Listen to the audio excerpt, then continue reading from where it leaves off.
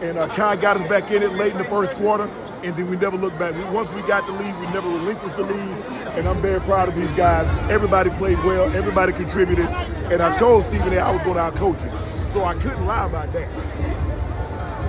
That's what's up. oh my man, you right here, Stephen A. I ain't see you. I ain't even see you, Stephen A.